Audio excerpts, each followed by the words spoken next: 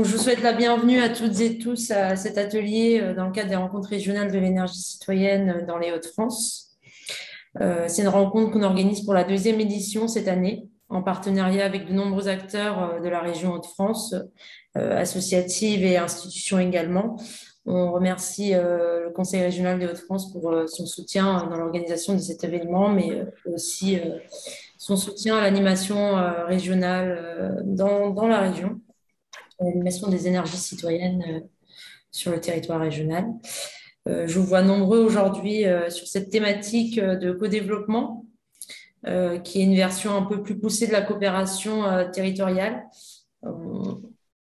Je, suis contente aujourd'hui d'accueillir Arnaud et Bertrand sur cette thématique.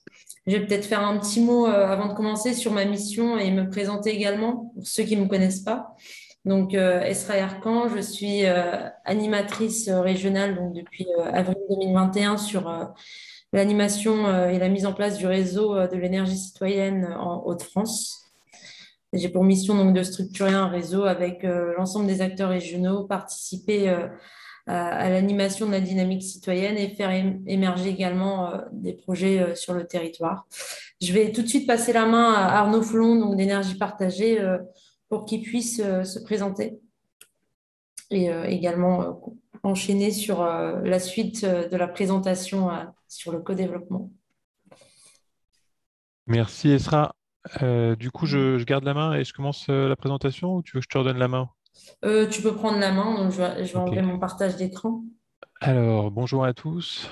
donc Arnaud Foulon, je suis animateur dans l'équipe de l'animation du réseau national énergie partagée euh, de l'association énergie partagée et je vais intervenir avec euh, l'un de nos adhérents euh, basé en Occitanie, Bertrand Rodriguez, directeur de la coopérative KTNR, qui interviendra en, deuxième partie de, présentation pour, pour, témoigner sur un, un projet concret. Je ne sais pas si Bertrand, tu es déjà arrivé. Oui, bonjour tout le monde, je suis là.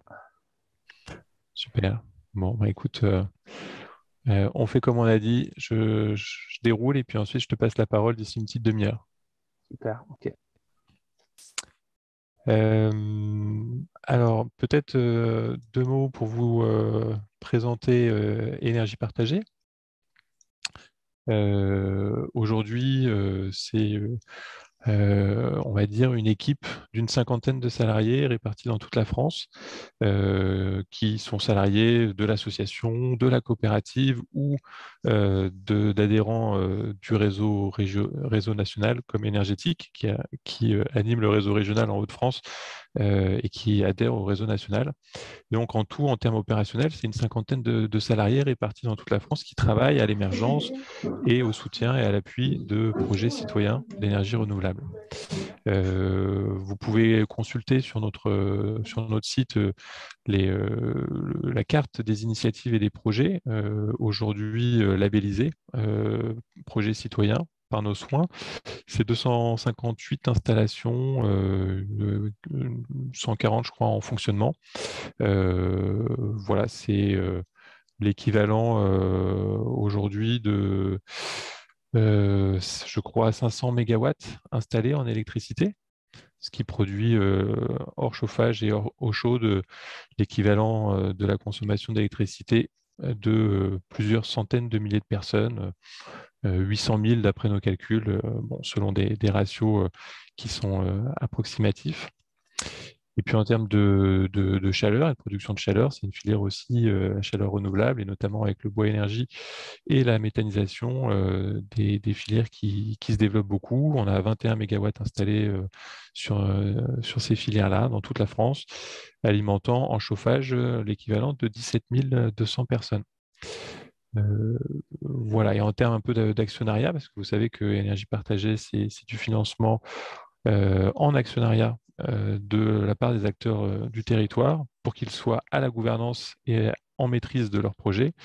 Et donc aujourd'hui, euh, on est heureux de compter plus de 21 000 actionnaires citoyens dans ces projets-là, dont l'investissement représente 34 millions d'euros cumulés et qui permettent ensuite d'aller lever des dettes auprès des banques pour financer les projets.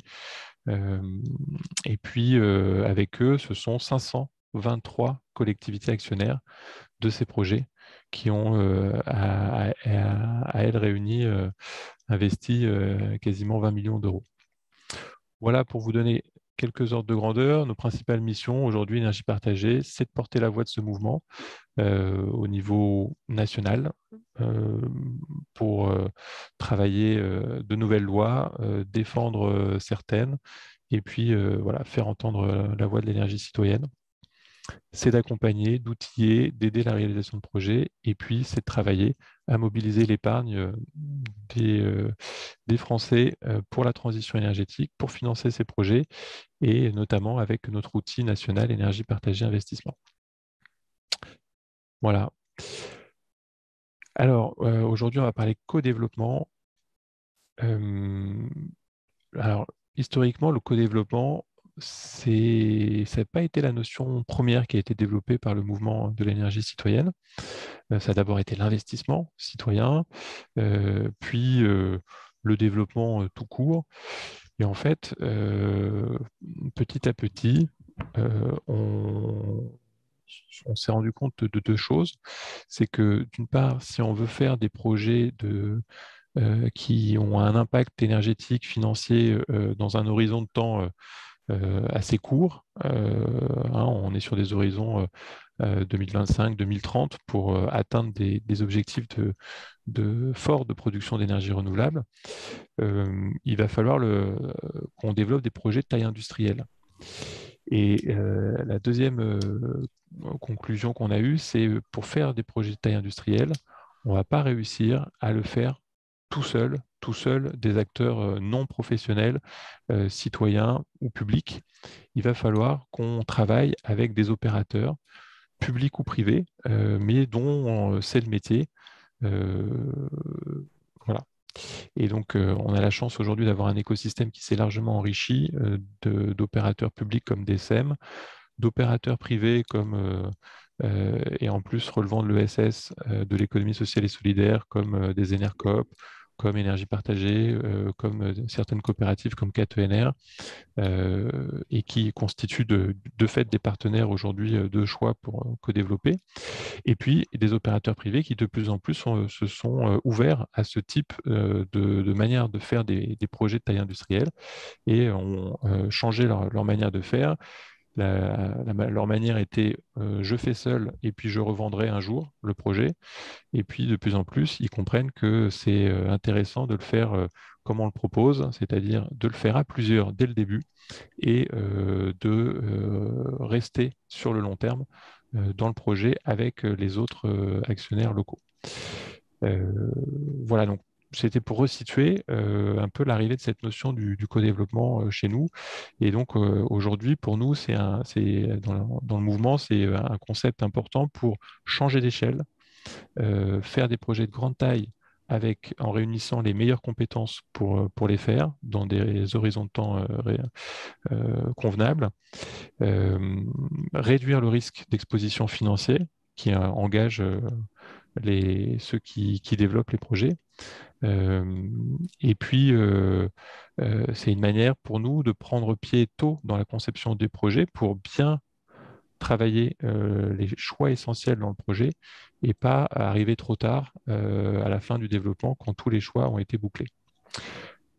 Voilà, donc maintenant je vais rentrer dans la définition du, co-développement. Vous voyez ce, schéma, il est là pour vous rappeler euh, un peu les grands domaines euh, du développement d'un projet d'énergie renouvelable, un volet économique important, un volet euh, technique tout autant, et pour nous, un volet de participation et de mobilisation citoyenne.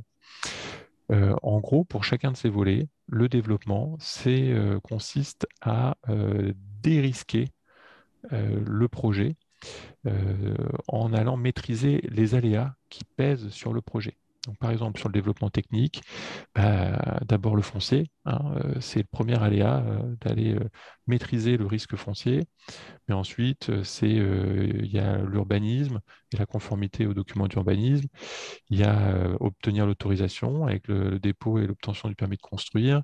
Il y a travailler finement les impacts en termes de biodiversité et s'assurer qu'il n'y ait pas d'impact rédhibitoire. Et, puis, et puis, on peut même aller jusqu'à bah, l'acceptabilité du projet et, travailler celle-ci jusqu'au bout voilà, différents domaines, différents risques et aléas qu'il va falloir lever à travers des études et du travail. De même, sur le modèle économique, il y a des risques à, maîtriser euh, en phase de développement. C'est euh, bah, le raccordement qui va avoir un, impact économique euh, très fort. Le gisement, de pouvoir bien mesurer le gisement, donc, la, quantité d'énergie qu'on pourra produire grâce aux sources en présence. Et puis, euh, c'est sécuriser un tarif de vente du kilowattheure ou euh, de la calorie euh, sur un certain temps pour bah, sécuriser le modèle économique. Et tant qu'on n'a pas sécurisé, bon, bah, le projet, on va dire, est risqué. Vous voyez, là aussi une certaine quantité de, risques à maîtriser. C'est la, phase de développement consiste à ça, dépenser de l'argent et du temps entre actionnaires entre investisseurs du projet à risque euh, pour euh, que ce projet soit peut-être possible. Donc concrètement, euh, ça veut dire que si on regarde les choses autrement, il y a, on va dire, une exposition au risque financier qui va être progressif. Alors pourquoi progressif? En fait, euh, quand on dit qu'un projet éolien euh, coûte 500 000 euros de développement, c'est pas 500 000 euros qu'il faut mettre du jour au lendemain sur la table. Ça va être en fait petit à petit et progressivement tout au long du développement, au fur et à mesure que on, bah, j'ai envie de dire, on marque des points dans le dérisquage et que le projet euh, est possible et de plus en plus possible, et bah, au fur et à mesure, on met de plus en plus d'argent qui s'accumule du coup à risque jusqu'à ce qu'on ait obtenu toutes les autorisations, les tarifs, etc. Donc, c'est ce que symbolise ce, graphique-là. je vais vous donner des ordres de grandeur tout de suite, mais avant, j'aimerais bien préciser que euh, au regard de, l'exposition financière qui est progressive, eh bien, il y a euh, le risque, le risque qui va réduire petit à petit. Là, c'est schématique. Euh, on devrait, si on voulait être plus précis, faire un décrochage important au niveau du risque, c'est-à-dire que le risque réduit drastiquement à la fin du développement et des autorisations. une fois que le projet est obtenu, euh, bon, il y a encore des choses à faire, hein, le montage financier, euh, euh, et puis le chantier. Il y a encore du risque, mais il y en a beaucoup moins une fois qu'on a sécurisé tout ça. et puis en phase d'exploitation, il y en a toujours un petit peu et il remonte un peu en fin de vie avec les besoins de maintenance et vieillissement des installations. Euh, voilà. Donc vous voyez, c'est bien fait. Euh, le risque est maximum quand pas, on ne met pas encore beaucoup d'argent sur la table. Et puis euh, il est minimum quand bah, là, on a financé l'intégralité de, des, machines et qu'elles sont en exploitation.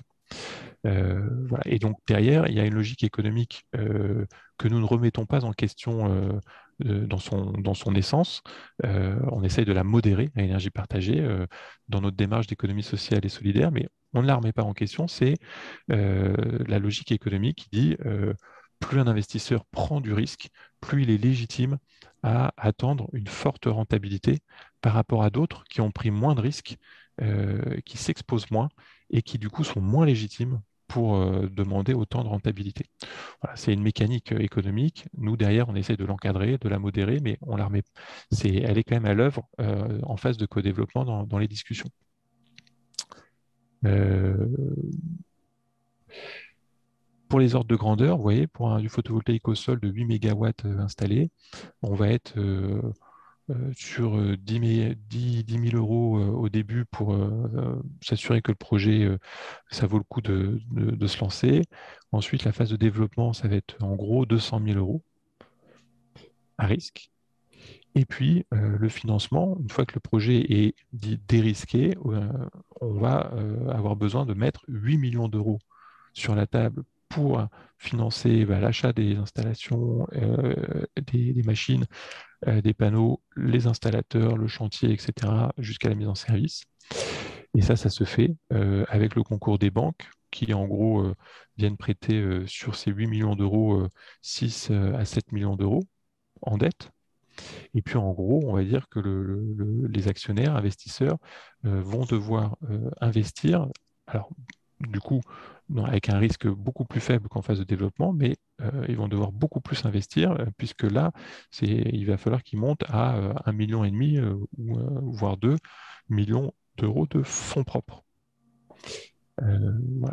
Dans l'éolien, si on regarde un parc de, 18 MW aujourd'hui, donc 18 MW, c'est 7-8 éoliennes selon leur puissance, c'est 500 000 euros en développement donc sur plusieurs années, hein, sur 5-6 euh, ans de, développement. C'est euh, euh, ce qu'on appelle un CAPEX, un montant d'investissement de 27 millions d'euros d'investissement. c'est 23 millions apportés par les banques en gros et 4 millions en fonds propres par les actionnaires. Il faut aller apporter 4 millions une fois que c'est dérisqué avant de pouvoir convaincre les banques. Voilà, quelques ordres de grandeur. Donc, si je me résume, euh, et la notion qu'on veut vous faire passer, c'est que le co-développement, c'est du développement ENR, ça veut dire c'est du dérisquage et du financement à risque d'un projet d'installation d'énergie renouvelable. Co-développement, c'est parce que c'est à plusieurs et qu'à plusieurs, euh, ce sont des acteurs qui vont avoir les bonnes compétences pour bien maîtriser les risques, mais ils ne vont pas forcément avoir les mêmes stratégies, les mêmes intérêts sur toute la ligne. Voilà, et c'est ça la complexité du co-développement, c'est travailler avec des acteurs qui sont très complémentaires en termes de compétences pour que le projet se réalise, mais qui peuvent avoir des intérêts, des stratégies différentes, typiquement entre des acteurs publics, privés, locaux, citoyens. Euh, ils ne vont pas être alignés tout le temps, partout, sur toutes les décisions et sur tous les choix à faire. Euh, voilà. Et donc pour nous, le co-développement est, vraiment important parce que ça permet d'impliquer dès le développement les acteurs du territoire. Alors, euh, je. Oui. Pardon, j'ai entendu euh, quelqu'un. Je, continue en, vous donnant. alors, je vous reparlerai, on a fait une synthèse euh, qui est en téléchargeable sur notre site internet pour expliquer euh, ces notions-là. Ça, c'est la notion que je vais, introduire, elle, me paraît très importante parce que vous voyez en fait trois scénarios possibles. En ligne, c'est trois scénarios différents. Euh, et en colonne, ce sont les étapes de vie d'un projet. Donc, en première ligne, vous voyez un, scénario où l'opérateur privé, ce qu'on appelle le développeur, a initié le projet, il est majoritaire en phase de développement, et ensuite, regardez, en phase de construction et d'exploitation, il disparaît. C'est-à-dire qu'il sort en fin de développement, c'est plus son métier, ça l'intéresse plus, euh, il fait affaire à autre chose, et là, dans ce scénario-là, ce sont d'autres euh, actionnaires qui viennent euh, lui racheter ses parts et euh, devenir actionnaires du, projet, les citoyens et les opérateurs publics et, ou ESS. Deuxième scénario, le développeur aussi a initié le projet, mais il va rester il va rester en phase de construction et d'exploitation, mais vous voyez, en, exploitation, il va devenir vraiment, on va dire, co-gestionnaire avec les autres acteurs. Et puis un troisième scénario où euh, il n'a pas forcément initié le projet, et en tout cas il est minoritaire euh, en phase de développement, et il le reste, mais il va rester tout au long du projet. Voilà trois scénarios possibles, il y en a plein d'autres, euh, et vous allez le comprendre en fait, que en fait, ça va dépendre à chaque fois, de, il va y avoir un agencement particulier entre les acteurs en présence, et ils vont tous avoir des stratégies différentes de rester plus ou moins longtemps dans le projet euh, et euh, de rester plus ou moins fort dans le projet. Et donc, ça va, euh, il va y avoir des entrées et des sorties du projet et qui correspondent à leurs besoins, à leurs stratégies. Et le co-développement, c'est aussi, du coup, de, dès le début, dès la phase de développement, s'accorder entre investisseurs sur où est-ce que chacun se voit si le projet réussit à la construction et à l'exploitation. Et de se mettre d'accord euh, même si le schéma, la réalité pourra faire que ça ne sera pas exactement comme prévu, mais déjà de prévoir les entrées les sorties et les grands principes, notamment sur les, rachats des parts. Vous comprenez que d'ailleurs, pour nous, un projet citoyen, il y a l'enjeu de, de, maîtriser les reventes d'actions pour que, en gros, idéalement, sur le long terme, il y ait de plus en plus d'acheteurs, d'investisseurs locaux qui achètent les parts des, des actionnaires historiques ou extraterritoriaux du projet. voilà. Alors, donc, il y a autant de configurations qu'il y a de, projets. Il n'y a pas de modèle idéal. Néanmoins, on commence à avoir euh, une méthode. Et cette méthode qu'on essaye de diffuser dans notre réseau euh, à travers nos formations, à travers des publications qu'on fait. Et je vais vous en livrer euh, trois étapes sur, ce, co-développement, mais vous pouvez retrouver ça en détail dans la synthèse qui est en libre accès téléchargeable sur notre site internet. La première, elle est évidemment de euh, prendre son temps entre partenaires pour s'écouter et apprendre à se connaître, euh, partager euh, les valeurs, la vision que chacun a du projet, ses propres contraintes à chacun, notamment ses circuits de décision, et comprendre bah, ses intérêts. Et donc pour ça, on a besoin de comprendre où est-ce qu'il se positionne sur le marché, quand ce sont des acteurs professionnels, ou quand ce sont des acteurs locaux, bah, où est-ce qu'ils se positionnent euh, dans le projet, qu'est-ce qu'ils veulent faire, prendre est-ce qu'ils ont les compétences en face, et puis la capacité à financer ce qu'ils prétendent euh, faire. Et euh, voilà. Donc ça, ça permet de bien comprendre le positionnement que chacun veut avoir dans le développement et puis dans la suite du projet. Une fois qu'on s'est mis d'accord, qu'on a vraiment envie de travailler ensemble et de faire le projet ensemble, il y a une analyse commune de la valeur du projet, de ce que ça va coûter, de ce que ça va créer comme valeur, euh, donc, euh, euh, et, du risque du projet. Et donc l'analyse commune valeur et risque, elle est très importante pour se parler avec les, mêmes termes et parler de la même chose. Derrière, quand on a réussi à faire ça, bon, il y a toute une phase de contractualisation. on y reviendra avec le témoignage de Bertrand. Il y a une phase de répartition des rôles à un niveau très opérationnel sur le qui fait quoi. Parce que l'enjeu du co-développement, je vous le rappelle, c'est de dérisquer un projet et c'est pas de faire un, bateau qui ne soit pas pilotable. Il faut que euh, ce bateau il arrive à bon port avec tout son équipage et tous ceux qui y participent. Et pour ça, il va falloir être très efficace euh, dans la répartition des rôles et le qui fait quoi. Euh, donc il y a des outils pour ça et voilà. Et ce que l'on peut rajouter aujourd'hui, c'est qu'à la lumière des expériences euh, aujourd'hui en cours, euh, on observe euh, de nouveaux acteurs, notamment territoriaux, publics, de l'économie sociale et solidaire, qui se professionnalisent et qui deviennent des structures, on va dire, d'intermédiation, de traduction entre des opérateurs privés qui ont une culture à eux euh, professionnels euh, depuis longtemps du, sujet et du coup qui n'ont pas trop l'habitude de faire avec des non-sachants. Et puis bah, les acteurs locaux, euh, la commune, un groupe de citoyens qui peuvent, on va dire, ne pas avoir non plus beaucoup d'habitude de faire ensemble et de encore moins des projets d'entreprise, de production d'énergie, de transition énergétique. Et donc, on, voit que ces nouveaux acteurs, euh, que sont les SEM, énergie partagée ou euh, des Enercop ou d'autres, euh, jouent un rôle d'intermédiation important pour établir la confiance et, le partenariat. Voilà, et puis il y a des outils financiers qui viennent aussi protéger les, acteurs locaux de prendre trop de risques financiers en phase de développement. Il y en a un qui s'appelle Enercité, il peut y en avoir d'autres je ne rentre pas dans le détail de, ça. Euh, Ce n'est pas l'objet là de, la présentation. Quelques mots encore pour, euh, terminer avant de passer la parole à, Bertrand.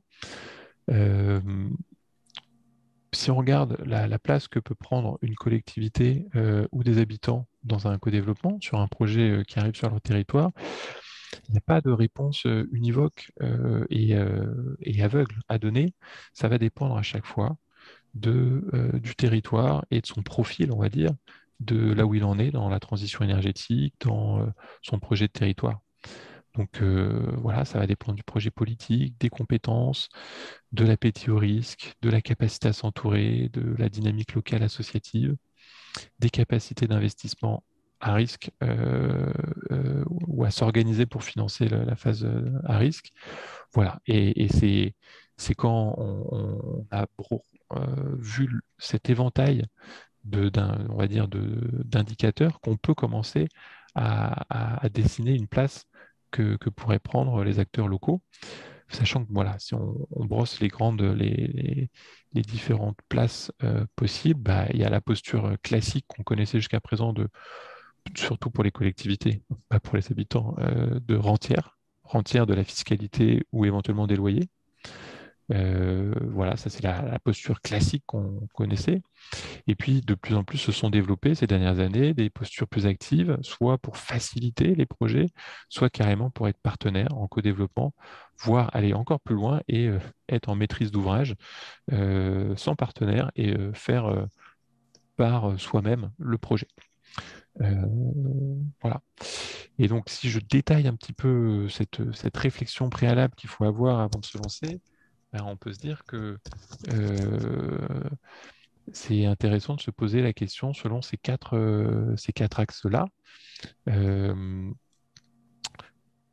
la gouvernance, finalement, comment les acteurs locaux souhaitent que les décisions soient prises dans, le projet, avec eux, sans eux, avec d'autres, ça va être essentiel. Dans le financement également, et donc dans le financement, c'est euh, quelle, quelle, capacité de financement on va réussir localement à, mobiliser. Euh, dans la concertation, bah, c'est jusqu'où veut-on mettre en débat le projet et les grands enjeux qu'il soulève avec le territoire. et puis, en termes de retombées économiques, eh ben, est-ce qu'on est déjà très content de la fiscalité des loyers ou est-ce qu'on veut plus, et on sait qu'il peut y avoir beaucoup plus de retombées économiques pour le territoire. Et donc, bah, jusqu'où euh, on, veut maximiser ces retombées économiques en termes de euh, recours à des prestataires locaux ou en termes de euh, retour financier pour l'investisseur local. Voilà, donc si on se pose toutes ces questions, on commence à dessiner bah, une stratégie possible d'implication dans, le projet. Le tout aussi, euh, évidemment, ne dépendant pas que de la volonté des acteurs locaux, mais aussi bah, d'où vient le projet, qui est à l'initiative, et puis quels sont les risques qui pèsent sur le projet et quelles compétences faut-il s'adjoindre pour euh, le réaliser. Euh, et bah, du coup, est-ce qu'il y a besoin d'acteurs privés? Est-ce que, les acteurs locaux sont prêts à prendre et à enrôler certaines tâches à mener voilà, toutes ces questions à, se poser pour, pour se positionner. Euh, voilà, je vais m'arrêter là. Euh, je, sauf s'il y a des questions de clarification, et sera tu vas peut-être me dire, mais sinon, je vais passer la, main à, Bertrand, qui va illustrer par son témoignage tout ça qui peut paraître de prime abord un petit peu abstrait. Esra, y a-t-il des questions euh, Regardez, euh, pas de questions pour le moment, mais on. Eh ben, super. Et eh ben donc continuons. Euh, et puis bah, posez vos, questions au fil de l'eau, on les traitera comme il se doit au moment des échanges. Bertrand, à toi. Oui. Donc, je suis Bertrand Rodriguez, directeur de, de la coopérative caténaire à Perpignan. Alors, pardon, j'ai un problème de, webcam parce qu'on utilise beaucoup de logiciels de visio et euh, le dernier à qui j'ai donné l'autorisation euh, a certainement enlevé euh, les autorisations aux autres. mais c'est pas grave. C'est pas grave, je vais, je vais rester là et je vais faire comme. Vous voyez mon accent qui chante un peu. et donc, on a en 2014 créé une coopérative sous forme de SIC est parti euh, de zéro, hein, d'autant qu'en 2014, euh, il y avait euh, peu d'expérience, peu de retour d'expérience. Il y en avait quelques-uns quand même qui nous ont beaucoup aidés, mais voilà, partant d'un écosystème qui naissant pour, pour lequel on s'est dit qu'on partait sur des tout petits projets de toiture photovoltaïque où on prenait zéro risque, on testait l'innovation sociale et euh, on verrait bien ce que ça, ce que ça donnera avec une, une posture d'apprendre en marchant, mais euh, voilà, de prendre, de prendre zéro risque. Donc, je pourrais revenir un peu sur comment ensuite, ben, euh, maintenant, on prend un petit peu plus de risques, même si on n'est pas des entrepreneurs effrénés. voilà, donc on a une vingtaine de toitures aujourd'hui photovoltaïques en exploitation, 300 sociétaires. Euh, et si tu peux passer euh, Arnaud la diapo, donc euh, qui nous font arriver à ce projet, c'est-à-dire qu'au bout de 3-4 ans de vie caténaire, on s'est dit que ça marchait pas trop mal et que on pouvait éventuellement prétendre à avoir un poids significatif sur la, la transition énergétique. donc produire un peu plus significativement que ce qu'on produit, euh, ce qu'on produisait euh, à ce moment-là, et en se disant que c'est pas la taille des projets qui font euh, leur que ce soit un bon projet, les qualités d'un projet, mais bah, tout, ce dont a, parlé Arnaud hein, sur, bon, bien sûr qu'il y a un modèle économique, mais sur tous les aspects environnementaux, les aspects coopératifs, etc. Et donc, on a été, euh, c'est pour dire que ça n'a pas été une démarche active au départ. Hein. Euh, on a été sollicité par deux communes qui euh, donc ont eu une proposition d'un développeur pour étudier un projet éolien sur leur commune. Alors, il s'agit des communes de Bagnos des Aspres et Brouillat, qui sont entre, qui sont à une vingtaine de kilomètres au sud de Perpignan, donc à mi-chemin entre Perpignan et la frontière espagnole, qui sont en plaine.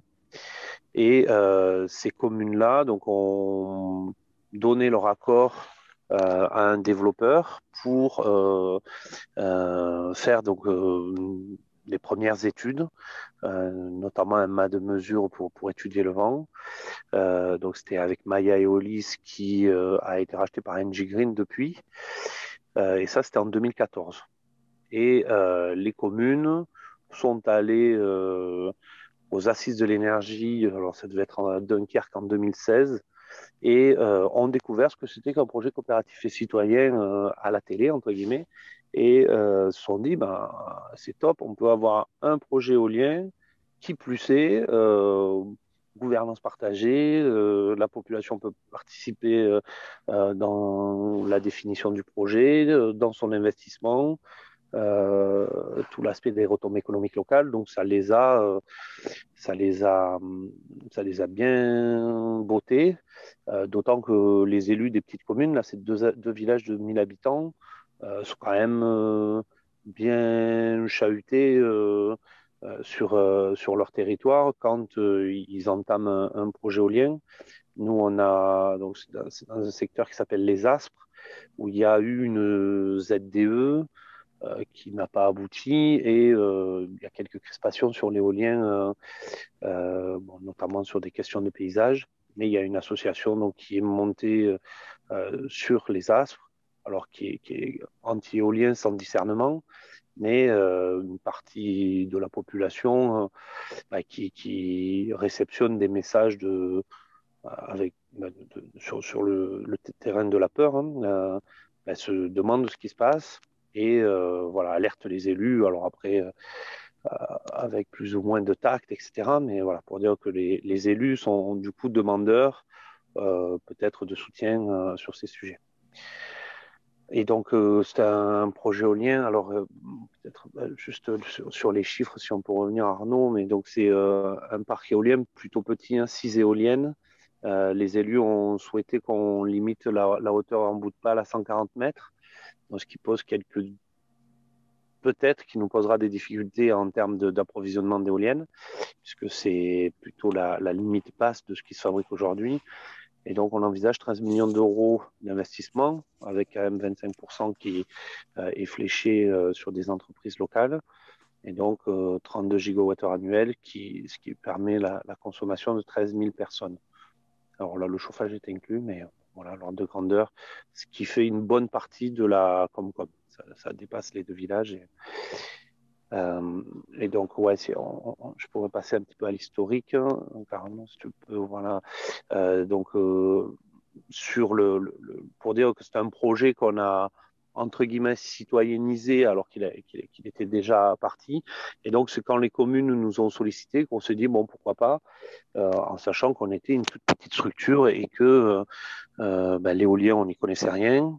Euh, donc on a fait quelques formations et notamment le retour d'expérience de alors Jourdain qui était je pense à éolienne en Pays de Vilaine et donc voilà, toute la dynamique. Citawatt Développement devenu EO aujourd'hui et effectivement euh, qui sort du giron d'énergie en citoyenne en Pays de Vilaine qui avait fait l'éolien citoyen historique euh, en Bretagne, Bégagne, Isaac Watt euh, et, plein d'autres.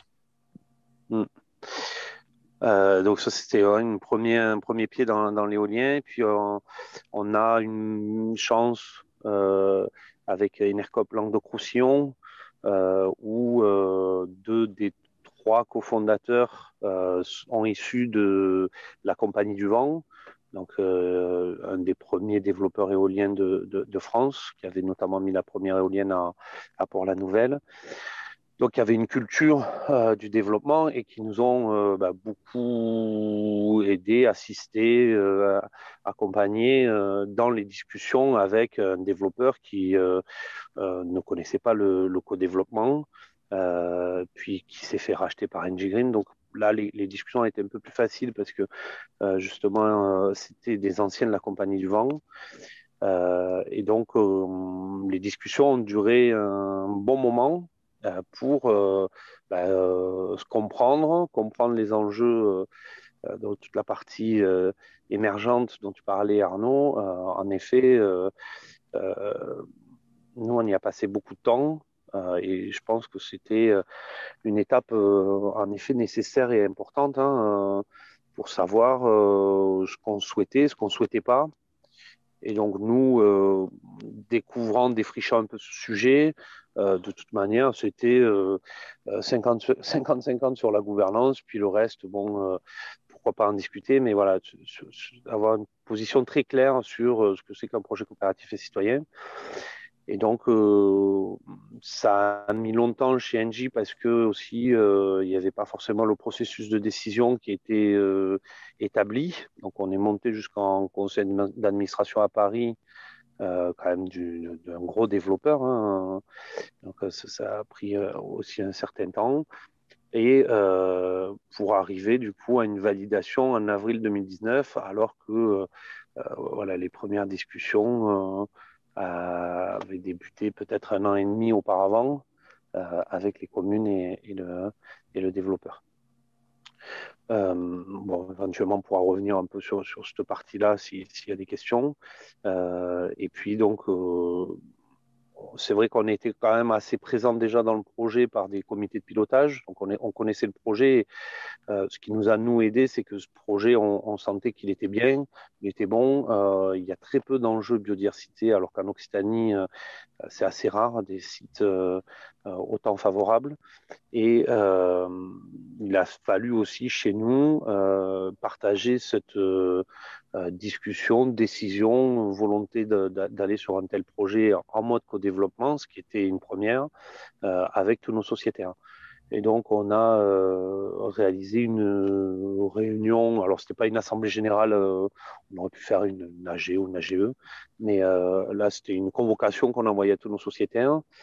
Et il est clair que bah, signer un pacte avec Engie, donc grosse multinationale, euh, pour beaucoup de nos sociétaires issus, euh, on va dire, de l'altermondialisme, hein, avec euh, des, des, vies parfois bien remplies de, de, militantisme sur, un tas de, sujets.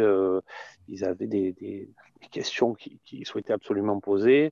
Et le fait de retracer au marqueur rouge le cadre d'un projet coopératif et citoyen et qui correspondait au cadre qu'on avait obtenu, a fait qu'on a il y a eu une unanimité et même un enthousiasme à aller sur, ce, sur ce genre de projet, puisque décisionnaire sur absolument tous les, sur tous les sujets, que ce soit l'administration de la, de la société d'exploitation qu'on créera si, si, on arrive à avoir les autorisations, et puis toutes les décisions en phase développement, en phase construction, notamment le choix des, des entreprises, et sur toute la partie exploitation. Euh, et donc, une fois qu'on a euh, signé, enfin, validé, donc à la fois chez NG Green, chez Catenair, qu'on a signé notre pacte d'engagement, euh, il y a eu toute la partie qui est du coup intéressant parce que c'est beaucoup là où nous on a été pilote des missions, toute une partie de concertation, d'information auprès de la population où là, on a fait euh, notamment une campagne de porte-à-porte euh, qui, voilà, et, dans l'éolien se pratique de plus en plus et, quelque chose de, pertinent dans, l'éolien euh, pour faire comprendre le projet et avoir les, les retours de, la population, parce que plus de 80% de la population avait entendu parler du projet, euh, tout petit village. Hein. Et donc, beaucoup avaient leur mot à dire, mais sans forcément faire une démarche active euh, d'aller voir les porteurs de projets ou les mairies. Donc, euh, d'aller les voir chez eux, c'est très enrichissant et ça permet d'amorcer un premier lien, un premier dialogue qu'on a ensuite alimenté par des lettres d'information, par un site internet, etc. etc. et voilà, que eux sentent aussi qu'ils euh, sont écoutés et sur tous les, les sujets qu'ils ont envie de faire remonter, euh, il y a un vrai traitement du sujet, euh, une, vraie, une vraie analyse pour voir si bah, les choses qui sont abondées peuvent être prises en compte dans le projet ou pas. voilà pour la chronologie. Donc, je parlais du comité de décision qu'on a, qu'on a créé, où donc on a bien deux voix décisionnaires, donc une voix pour NG Green et une voix pour Catenaire. Et puis, euh, on a décorrélé, euh, donc pour montrer que c'est possible, on a décorrélé euh, pour la société de projet la partie droit de vote de la partie capital, fonds propres. puisque pour NJ, qu'on aille au-delà de 40%, ce n'est pas envisageable. donc on a cette répartition 60% NG Green, 40% caténaire. Et 40%, c'est à l'époque ce qui euh, définissait, euh, donc c'était le minimum pour un projet coopératif et citoyen, euh, pour, alors je pense qu'à la fois dans la, dans la charte d'Enercop, sur, pour les appels d'offres, etc. Enfin voilà, il y avait un tas de, de cadres qui indiquaient que ce 40% était, était le minimum. Euh, et donc pour nous, de toute manière, comme le, c'est la gouvernance qui prime, avoir cette décorrélation-là du capital, ça ne nous posait pas de, euh, de, gros, de gros problèmes. Et donc on voit à la fois à gauche la signature, euh, donc le jour de la signature avec NG Green, et puis la réunion qu'on a fait avec nos sociétaires pour. Alors, du coup, là, je, peut-être je, précise euh, une chose, que je n'ai pas, je suis pas revenu dessus, mais il faut, avoir euh, conscience que pour des, des projets de cette taille-là, euh, il y a une société dédiée qui est créée, une société commerciale privée, souvent sous forme de SAS, avec des statuts et un pacte d'associés. Euh, et c'est cette société-là dont sont actionnaires LG Green et KTNR avec cette gouvernance que vous voyez, ce financement-là. Et du coup, les habitants et les citoyens, euh, eux, sont intermédiés euh, par KTNR. Donc, ils ne siègent pas directement tous individuellement dans la société avec NG Green, mais ils sont représentés par leur société locale, KTNR, dans la société dédiée au projet éolien avec euh, NG Green. D'où ces deux photos euh, qui sont très, euh, très illustratrices de, de, ce montage-là. Voilà. Et si tu peux passer à la suivante, Arnaud. Donc, dans la préparation, on s'était dit avec Arnaud que c'était bien d'avoir la, répartition des rôles. Donc, en effet, ça a été un, petit peu dit. le développeur ben, a une grosse expérience, expertise sur le développement technique, la rédaction des cahiers des charges, la, lecture des études, enfin le choix des bureaux d'études, la lecture des études, la compréhension, leur analyse, et poursuivre et enchaîner les étapes d'un développement, ce que nous, on ne savait pas faire. Hein. On, on, sait aujourd'hui peut-être un peu plus, mais voilà, c'est quelque chose qu'on découvrait. donc on, on souhaitait encore moins laisser euh, le camion et les clés du camion. Euh, et donc, du coup, il y a un suivi étroit qui se faisait. Et euh, pour chaque mission, il y avait bien son cadrage et cette décision partagée avant de lancer la mission. Donc, ça, c'était un, cadre qui nous convient parce que, a priori, on a la gouvernance partout. plutôt que de se dire, on, part d'une liste et on coche euh, si ici ou là, euh, on va avoir une gouvernance partagée. Euh, nous, on connaissait pas la liste, encore moins une liste exhaustive, même si on était accompagné, etc. C'est vrai que ce cadre était un petit peu rassurant de se dire que c'est la règle générale qui est gouvernance partagée partout. et donc sur les phases de concertation, c'est là où on a été le plus, nous, actifs, euh, les phases dont, je parlais tout à l'heure. Et puis, euh, il y a euh, des, des,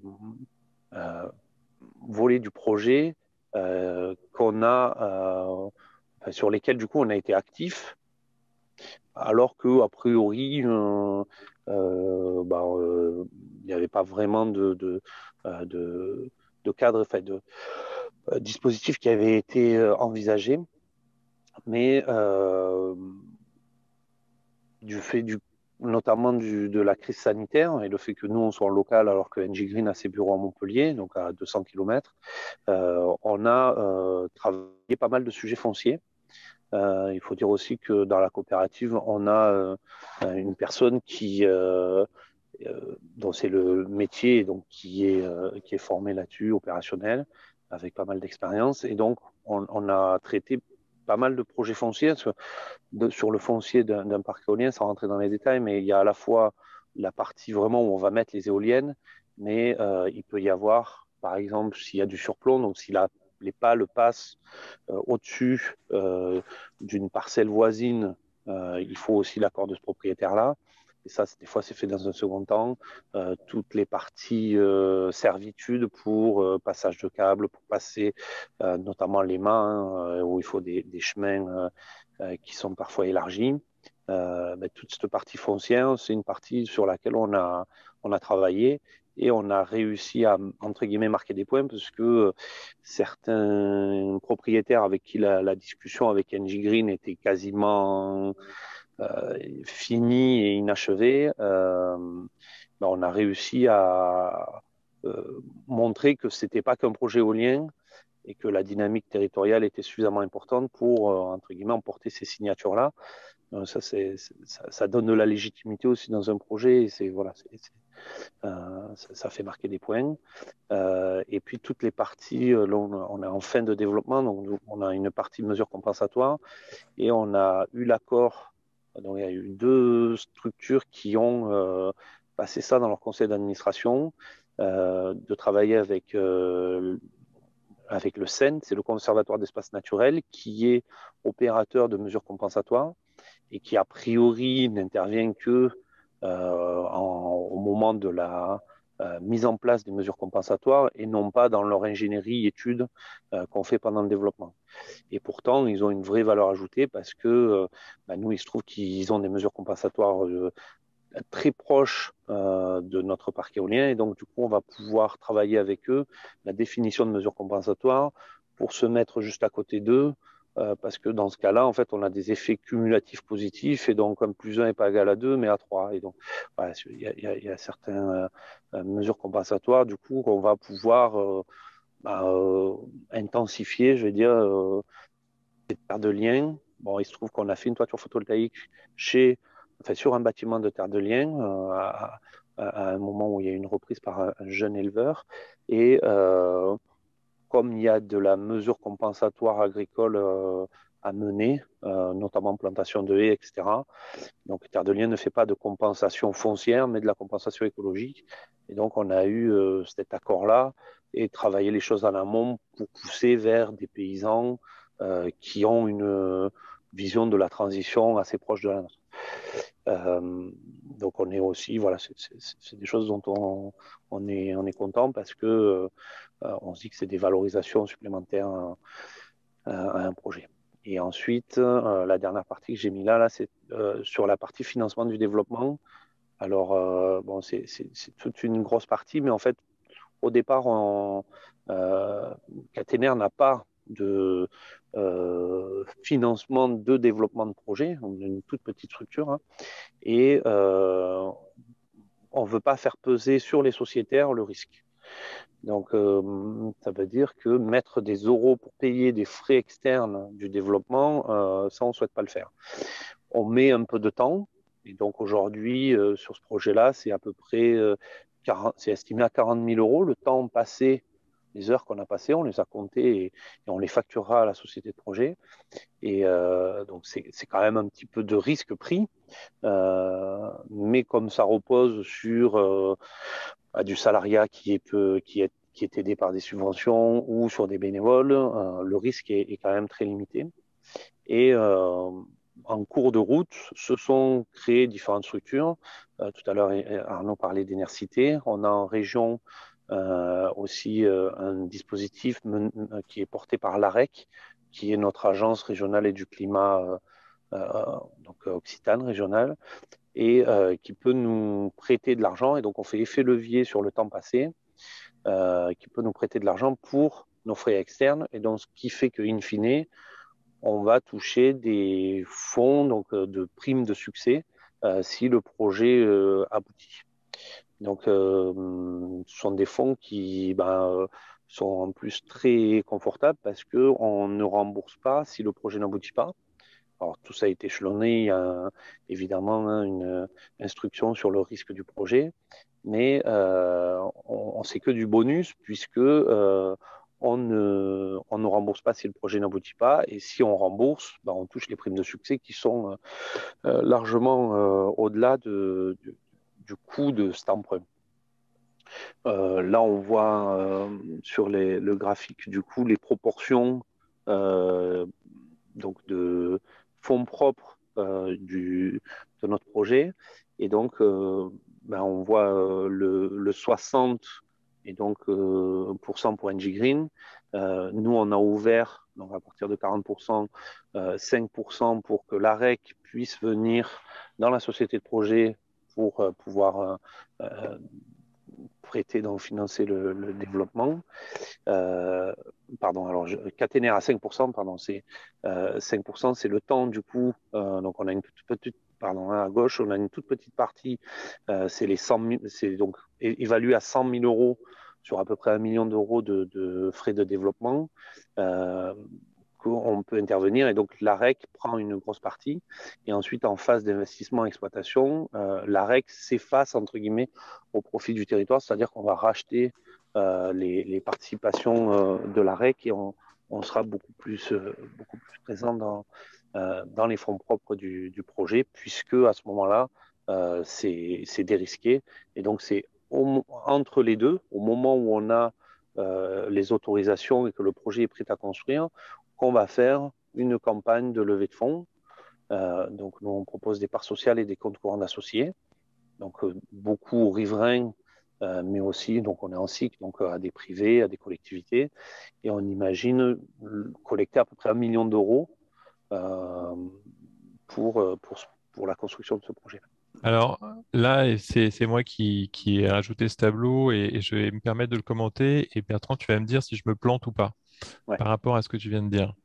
Euh, donc c'est tout simple c'est euh, vous retrouvez les, phases du développement d'un projet. Et comme je vous disais tout à l'heure, quand des partenaires s'entendent pour co-développer, il faut qu'ils se projettent dans l'avenir sur quelle va être la place de chacun. Euh, et c'est ce que vient de nous montrer Bertrand, où en phase d'investissement d'exploitation, il y a déjà un jeu d'augmentation et de diminution au capital des acteurs. Donc, il n'y en a aucun qui sort et pas de nouveau qui rentre, mais ils vont, vont bouger parce qu'ils n'ont pas voilà, les, les mêmes profils de financer le risque ou de financer l'exploitation.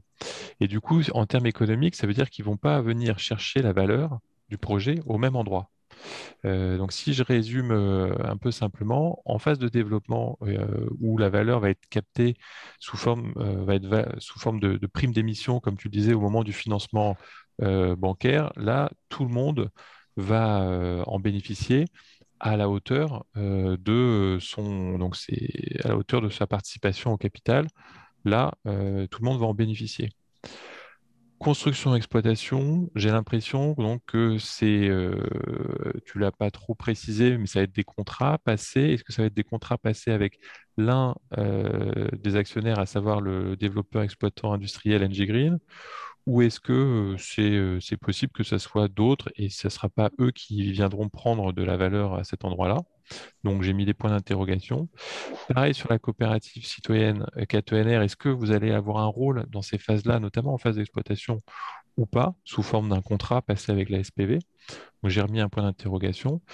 Et puis en dernière colonne, donc le financement de l'exploitation, donc être actionnaire sur le long terme et bénéficier donc de la rentabilité euh, du projet sous forme, donc tu disais euh, pour KTNR, de part sociale ou de CCA. Dans... Là, j'ai l'impression que tout le monde et, se positionne pour aller capter de la valeur sur le long terme en tant qu'actionnaire, mais quand même beaucoup plus KTNR et NG Green que la REC qui s'est complètement, quasiment effacée. Euh, je te laisse euh, du coup reprendre euh, et peut-être commenter ou m'aider à enlever les points d'interrogation de, ce tableau. Oui, ouais, en effet, dans, les grandes lignes, c'est ça. Alors oui, NJ a des sociétés qui sont à la construction et à l'exploitation. donc, il est possible qu'on fasse appel à, à ces sociétés-là. mais ça n'empêche pas qu'on fera quand même une consultation pour vérifier que ce soit bien au prix marché et euh, voir s'il y a des agences locales avec de, l'emploi euh, local sur, dans ces sociétés-là. donc voilà, pour, pour l'instant, rien n'est dit là-dessus, mais c'est vrai que ça peut être facilitateur que d'utiliser les services, on va dire, intégrés dans, la, dans la grande maison d'Engie. Et après, euh, donc ça c'est pour la partie exploitation.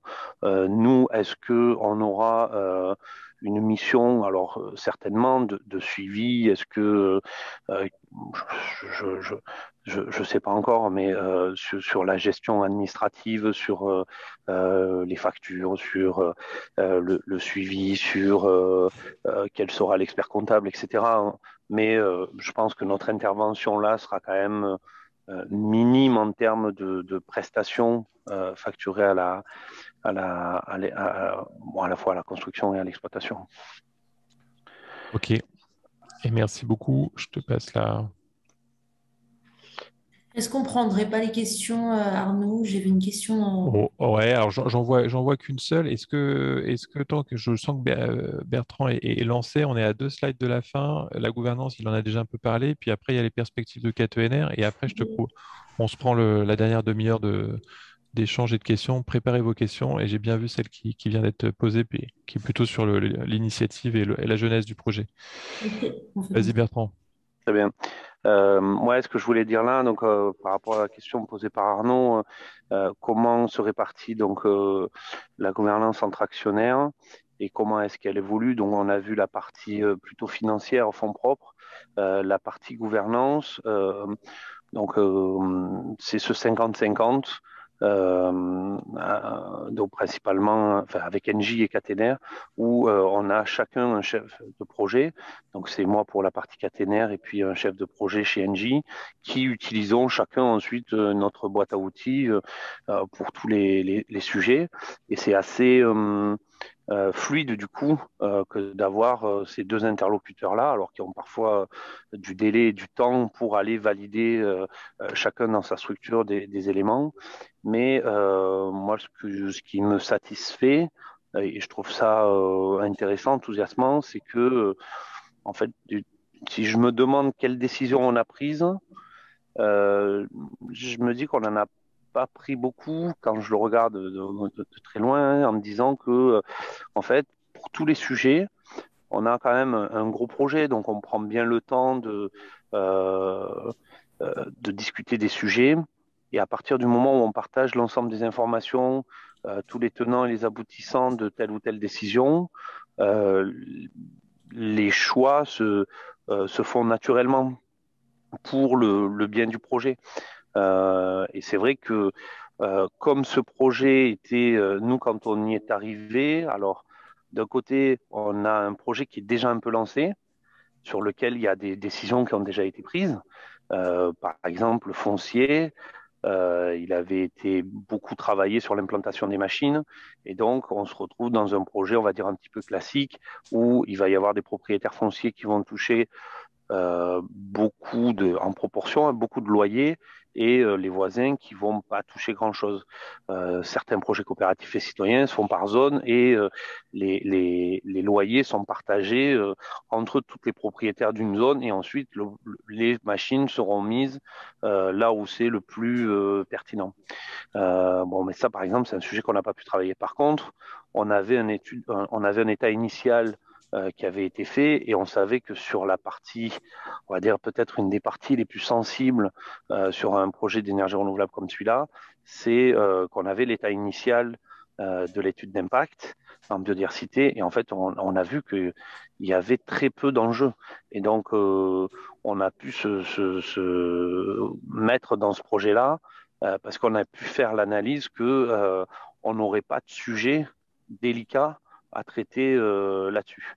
Euh, ensuite, il y a euh, toute la partie avec avec les riverains, la perception, le paysage, etc., qui sont qui sont un gros morceau, mais qui sont un petit peu plus subjectifs et humains. Et donc, moi, je pense qu'ils sont un petit peu secondaires, même si c'est très important, mais secondaires par rapport à on a un problème climatique, on a un problème d'effondrement de la biodiversité, donc c'est surtout pour ça que euh, on crée une coopérative d'énergie renouvelable et que euh, et que se bat en se disant qu'on est la nature qui se défend.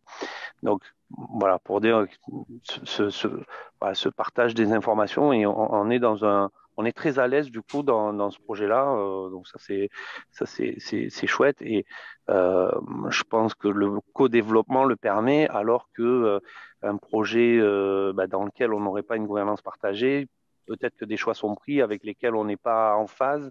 Et il est plus difficile ensuite d'aller les les porter en public. voilà.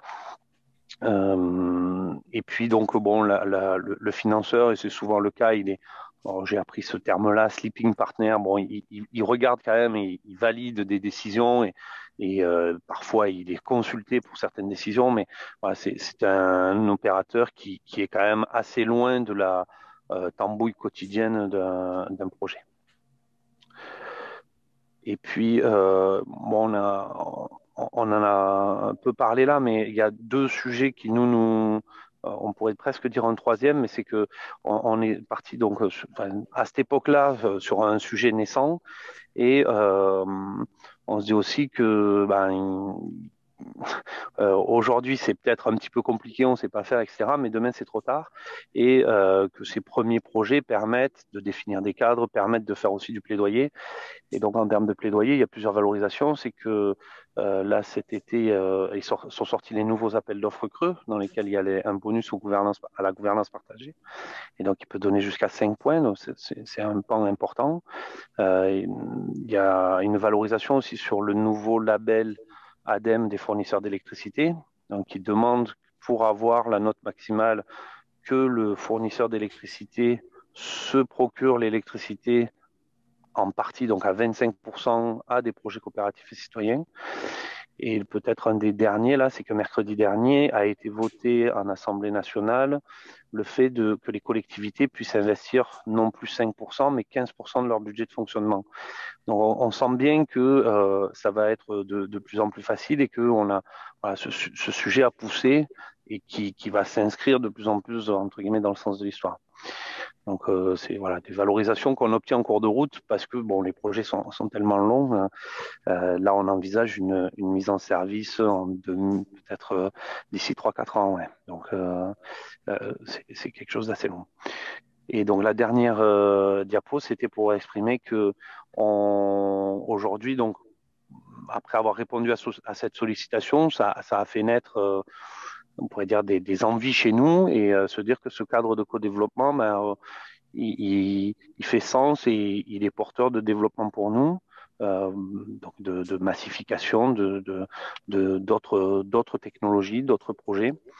Et donc on a initié des discussions. Donc on a notamment signé un accord cadre avec un opérateur qui est constructeur d'ombrières photovoltaïques en région et qui euh, envisageait de faire du développement euh, donc un opérateur très technique. On a, on a cet opérateur qui est dans le, euh, dans on va dire le, euh, l'écosystème Enercop énergie partagée qui découvrait pas ces sujets. Donc on, on, assez facilement on a été, on, est arrivé à cet accord. Et puis on est sollicité par des développeurs, alors des plutôt petits développeurs ou développeurs qui sont en, régie, donc public, semi-public, qui ont euh, dans leur ADN euh, les, projets de territoire et donc euh, qui nous ont sollicité pour répondre à des appels à manifestation d'intérêt ou, ou, pour faire émerger des projets notamment en projet hydroélectrique et euh, en parc au sol. Et puis, euh, on a cadre euh, en cours avec Enercop, Languedoc-Roussillon. Euh, le réseau Enercop s'outille de plus en plus d'ingénieurs d'études, euh, donc un bureau d'études, on va dire intégré sur pas mal de, filières d'énergie renouvelable. Et donc là, on y trouve, bah, nous, forcément une, un confort entre guillemets de pouvoir travailler avec un acteur qui euh, nous ressemble et poursuit les, mêmes objectifs dans un cadre d'économie sociale et solidaire. Et donc, euh, voilà, on, va, je pense, s'appuyer de plus en, enfin, développer de plus en plus de projets euh, avec Enercop Languedoc-Roussillon qui pourra aller chercher dans d'autres Enercop locaux je pense notamment euh, ici en Midi-Pyrénées, euh, euh les Midi-Pyrénées a développé beaucoup de parcs au sol photovoltaïques et donc on commence à avoir une, expertise forte là-dessus. Là voilà, donc ça c'est un, une piste de développement également. Merci Bertrand, merci Arnaud. On va peut-être passer aux questions. Il y en a quelques-unes. On va les prendre dans l'ordre. Alors, il y a une question sur euh, qu'est-ce qui a fait que NG Green a accepté que le projet se citoyennise alors que la prise de risque avec le financement des études était déjà initiée par le porteur de projet? Alors pendant, pendant là, je, suis, je, moins surpris parce qu'il y a, du temps qui s'est passé quand même. Euh, mais pendant un moment, on s'est dit, on, avait un peu du mal à y croire. Alors après, on a quand même des composantes. Moi, j'ai pas la réponse. Euh, voilà, j'ai pas une, réponse claire et définitive à, donner euh, euh très courte, mais je peux donner des composantes. Euh, je pense qu'il y a plusieurs composantes. Il y a une composante qui est qu'on n'est pas le seul projet citoyen d'Engie Green hein, sur l'éolien. Euh, je sais que notamment il y en a un en Midi-Pyrénées. Donc je pense sur quelques projets, euh, Engie a déjà largement exprimé qu'ils pourraient pas le faire sur tous leurs projets, hein, sinon le modèle économique euh, en, serait trop mis en difficulté. Euh, donc voilà, je pense que faire un test, quand euh, euh, nous, on a su, je pense, démontrer qu'on avait une coopérative qui était un, petit peu formée sur notre territoire, euh, je pense que c'était beaucoup pour faire le lien avec les élus. Alors là, c'est parce que c'est bon, on est dans un, c'est l'aspect territorial particulier qui, joue, là, mais voilà, des communes qu'il faut, enfin des élus qu'il faut bien accompagné, euh, épaulé. Euh, C'était une demande des, élus aussi, ça je pense que c'est un point important. À un moment donné, bon, c'était un petit peu le bluff, personne n'y croyait trop, mais les communes ont dit bon, nous on arrête tout maintenant si euh, le, parce que ça traînait un peu la décision d'Engie à la fin. Donc les élus ont dit bon, maintenant nous, on signe plus rien si le projet, voilà, si, le cadre coopératif et citoyen n'est pas n'est pas acté. bon, elles ont, hein, les communes, un, un pouvoir décisionnaire sur ces sur cet aspect-là. peut-être plus en émergence, euh, bon, là, il s'agissait peut-être de signer des hum, remises en état de chemin, mais c'est pour dire que aucun projet de taille industrielle d'énergie renouvelable en France ne se fait sans l'accord du conseil municipal. Donc euh, là, c'était un point positif. Euh, ce que j'exprimais tout à l'heure, c'est que bah, c'était notre accompagnateur qui bossait chez la compagnie du vent, bah, ça a un petit peu facilité. Le fait qu'il y ait un bonus à l'appel d'offres euh, où on peut avoir euh, peut-être 2 ou 3 euros du mégawattheure. Euh, sur un parc éolien, ça fait quand même des dizaines de milliers d'euros de, de, chiffre d'affaires supplémentaire. Hein. Euh, C'est-à-dire que c'est, ça va rapporter plus que ça a coûté que de faire euh, un projet en mode coopératif citoyen avec un peu plus de concertation, etc. etc.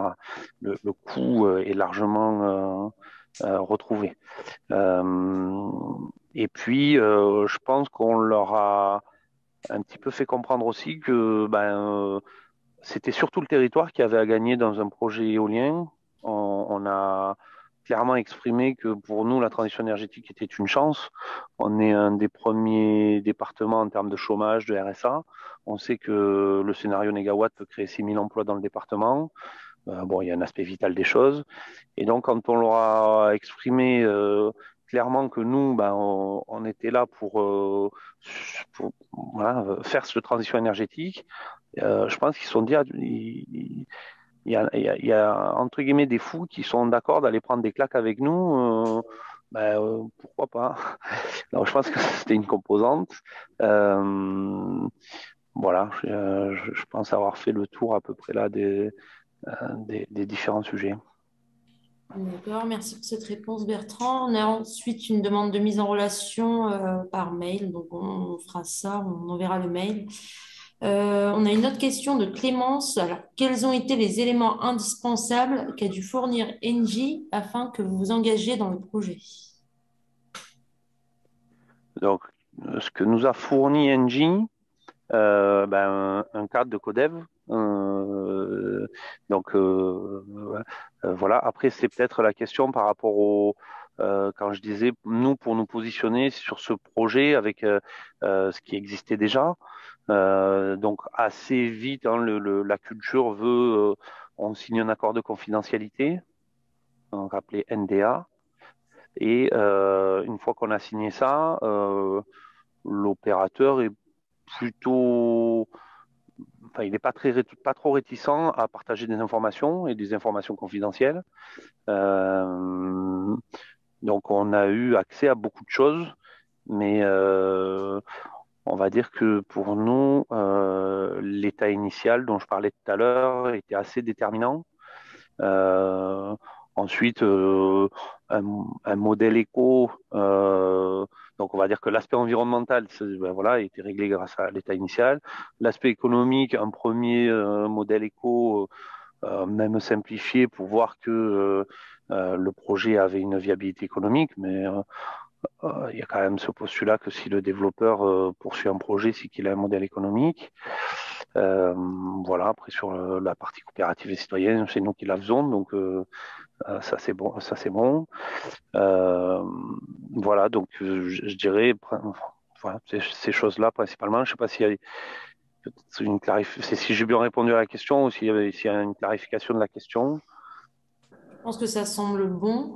On, a une autre question. Euh, pouvez-vous nous indiquer qui sont les développeurs qui vous ont sollicité pour les projets d'hydroélectrique hydroélectrique sur, ouais, sur une hydroélectricité. Euh, ben là, nous, alors, on a, euh, on a un producteur en local qui est un tout petit producteur qui euh, a qu'une seule centrale qui vend à Enercop. Euh, mais qui a tout fait lui-même et donc il a appris et euh, du coup on a un groupement avec lui et on va dire quelques autres acteurs locaux qui euh, sont intéressés par l'hydroélectricité et après on a une sollicitation Donc, un AMI est sorti dans le département sans, qu'on le sache, et c'est un développeur qui est venu nous chercher. Là, il s'agit de GEG, c'est la régie de Grenoble qui fait plutôt des projets dans les Alpes. Mais voilà, donc du coup, on, a répondu avec eux à un AMI. Alors, on n'a pas encore la réponse. voilà. Alors, moi, j'ai une, une question. Euh, J'en vois pas à l'écrit, donc je me permets. Je peux y aller, euh, Esra? Oui, vas-y, Arnaud. Euh, moi, je me souviens, à un moment, vous avez écrit une charte de co-développement. Est-ce que ça a été un, moment, est-ce que ça a été utile et pour qui, pourquoi? Oui, c'est vrai que ouais, j'ai pas parlé de cette charte, donc on l'a on l'a coécrite avec Enercop Anglo-Roussillon parce que on s'est dit que euh, on avait besoin d'un document euh, clair, précis, pour exprimer aux développeurs ce que c'était qu'un projet de co-développement, euh, en se disant que on, plutôt que de passer deux heures de discussion avec chacun des développeurs, à un moment on en a rencontré quelques-uns, euh, voilà, d'avoir ce document-là qu'on a envoyé dans un premier temps, euh, ça, parce que derrière co-développement, derrière projet de territoire, gouvernance partagée, etc., euh, il y a quelques développeurs qui ont, qui ont ces éléments de langage hein, et qui font des projets tout à fait classiques ou avec juste une partie d'ouverture de la dette à côté, donc en, en connexe de la dette bancaire, des, projets de financement participatif et non pas des projets coopératifs et citoyens. Et voilà, donc comme euh, il y avait ces ambiguïtés-là, euh, cette charte permettait de dire aux développeurs, ben voilà, nous c'est euh, ça le cadre qui est quasiment pas négociable en fait, c'est gouvernance partagée ou rien. Et donc voilà surtout à, à, quoi a permis cette charte et elle nous a permis euh, au sein de Caténaire de nous poser des questions euh, aussi de comment on, on, voyait par exemple la prime de succès, comment on se positionnait par rapport à ça, euh, qu'est-ce qui faisait pour nous qu'il était important d'avoir une gouvernance partagée dans les projets, euh, quelles étaient les valeurs, le, le, les, éléments qu'on avait envie de valoriser. Euh, voilà, donc ça, je pense que c'était un travail qui était intéressant à, faire en interne. Mais bon, depuis, il y a eu tout un travail de fait, euh, notamment par, par énergie partagée, par toi Arnaud, hein, sur, sur, sur, ces définitions-là, sur ce que, sur même des, tout ce que tu as présenté, hein, les différents typologies de, de co-développement. Donc, on n'utilise plus notre charte aujourd'hui, mais voilà, à un moment, elle nous a été un petit peu utile. Merci. Et euh, j'ai une nouvelle question. Ah bah voilà, Alors, la chronologie présentée s'étale sur environ 10 ans. Est-ce que le montage via un projet citoyen a augmenté ce délai ou est-ce que juste un délai normal pour ce type de projet? Alors, euh, dans les Pyrénées-Orientales, c'est un pour, pour de l'éolien, c'est normal. Enfin, c'est normal. entre guillemets, je vois qu'il y a des guillemets anormales. Donc voilà. Euh, ensuite, est-ce que euh, ce délai a augmenté à cause du projet citoyen, enfin le fait de l'avoir citoyennisé alors je dirais que à un moment on a, on quand même pris le temps de, de, bien discuter, mais comme ça se fait en parallèle d'autres délais, on a passé un peu de temps, mais sur le calendrier, ça ne nous a pas fait perdre de temps. Maintenant, c'était dans un moment où on avait le temps de le faire. Donc peut-être qu'en effet, euh, dans des projets où euh, euh, ce délai-là est attendu, peut-être que ça pourrait faire perdre un peu de temps. Ensuite, il n'y a, a, pas vraiment de, temps perdu en plus parce que de toute manière, y je pense qu'il y a toujours des comités de pilotage, des comités territoriaux sur les gros projets. Et donc, en fait, euh, euh, l'idée, c'est d'y être et de pouvoir travailler les sujets en amont. donc, ces réunions-là, de toute manière, se font. ensuite, il y a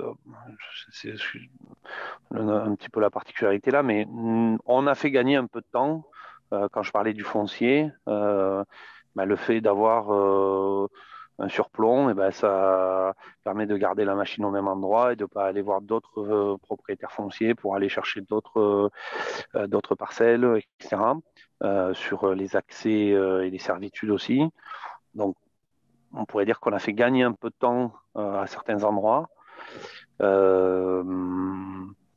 voilà. En tout cas, pour, ce projet-là, ça n'a pas fait perdre de temps en termes de délai de développement.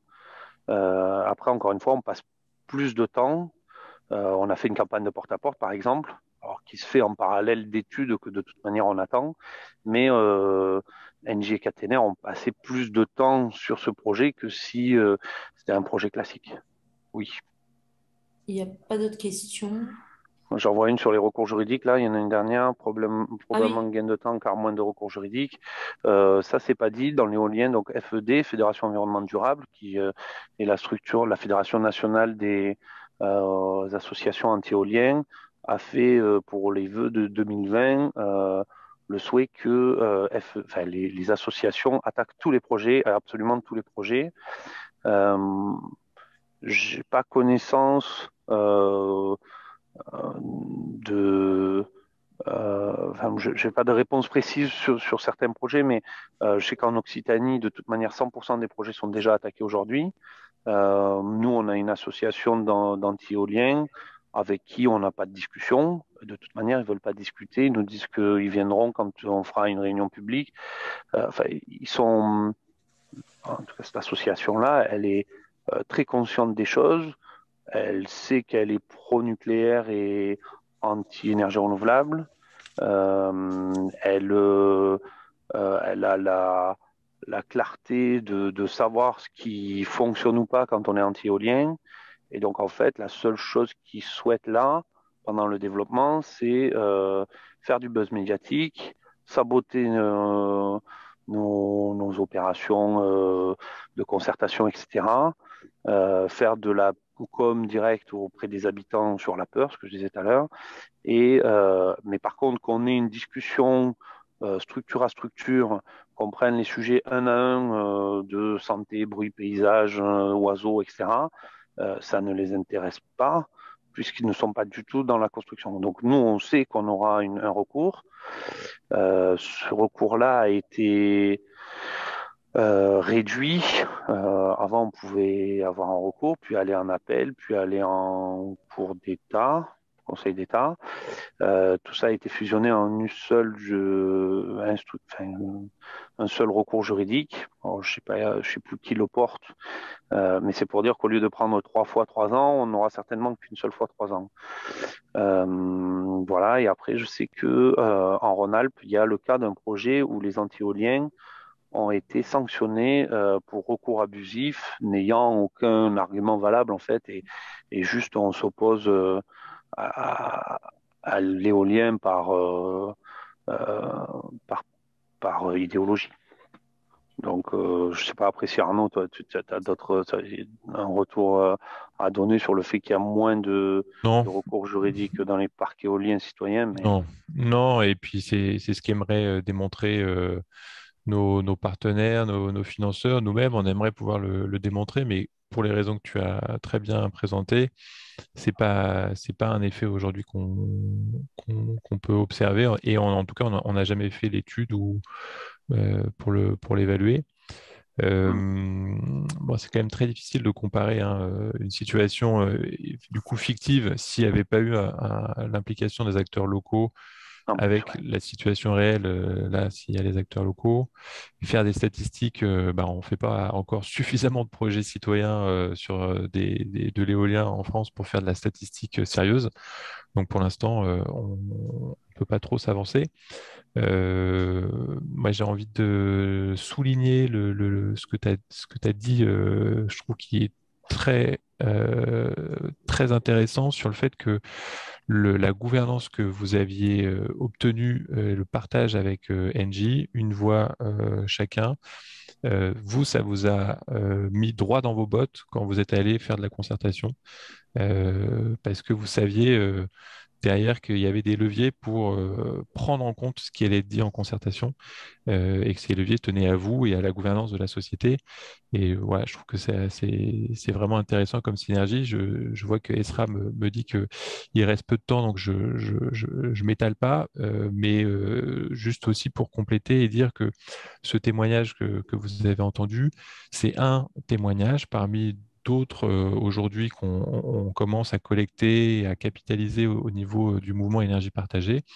Euh, y a, encore une fois, il n'y a pas de modèle type à copier-coller d'un projet à un autre. Encore une fois, ça dépend vraiment de l'analyse du contexte, du jeu d'acteurs, de qui est autour de la table, de voilà. Et on ne peut pas copier-coller notamment des exigences ou des manières de faire sans se poser la question de qu'est-ce qui est adapté là et qu'est-ce qui est acceptable et qu'est-ce qui est négociable et qu'est-ce qui est possible euh, entre acteurs. Euh, voilà, et je pense que là, vous l'avez bien compris avec la situation propre euh, à, ce, à ce contexte. Et aussi pour rajouter, et je vais juste vous, partager ça, 30 secondes, Esra, c'est... vous avez peut-être entendu parler, mais là aux assises à Nantes, on a euh, publié et lancé notre euh, label Énergie partagée, euh, qui est aussi le fruit de, toutes ces réflexions, puisqu'il a vraiment fallu qu'on se pose la question de qu'est-ce qui est possible en co-développement pour que ce soit, ça reste citoyen et que ça puisse être labellisé citoyen. Et on a mis en place toute une, évaluation pour que cela soit possible. je ne vais pas rentrer dans le détail, mais pour vous, vous, expliquer notamment euh, sur les deux critères principaux que sont le financement euh, dans les, fonds propres. Donc nous, on est sur un critère euh, de 40% dans l'actionnariat aux mains des acteurs locaux. ça peut descendre en dessous quand il y a des, belles gouvernances partagées comme, comme ici. mais voilà, on est autour de, cette zone-là, minimum euh, pour être crédible en termes de, maîtrise de la société par les acteurs locaux. Mais on ne regarde pas que ce critère-là, on en regarde euh, beaucoup d'autres, euh, une douzaine d'autres, et notamment sur la question de la gouvernance. vous voyez, c'est le critère 7 là. Toutes les décisions dans le projet sont à majorité qualifiée. Les partenaires locaux et citoyens ne peuvent se faire imposer une décision par les partenaires privés. Voilà, on n'a pas dit qu'il fallait une voie par structure voilà, ça n'aurait pas de sens euh, pour être applicable à tous les projets. Mais en revanche, ce qui pour nous est applicable à tous les projets citoyens, c'est ça. Et c'est ça que là, par exemple, respecte très bien ce, projet. Il n'y a pas de décisions importantes qui peuvent être prises uniquement par une des parties et notamment par le partenaire privé. Voilà. Euh, je m'arrête là et euh, je te laisse conclure, Esra. Je vous remercie en tout cas pour euh, cette présentation qui était quand même assez euh, exhaustive et ça nous a permis, avec l'exemple de, Bertrand, de vraiment rentrer dans le concret euh, de ce que c'est que le co-développement. Ça peut paraître parfois assez théorique comme méthode de développement, mais là, c'était assez clair. Donc, je vous remercie. Je vous laisse également les coordonnées si vous voulez faire un screen. Voilà, je vous remercie pour cette participation et d'avoir été attentif et d'avoir posé euh, des questions euh, assez intéressantes. Au revoir. Au revoir à tous et bonne soirée. À bientôt. Au revoir.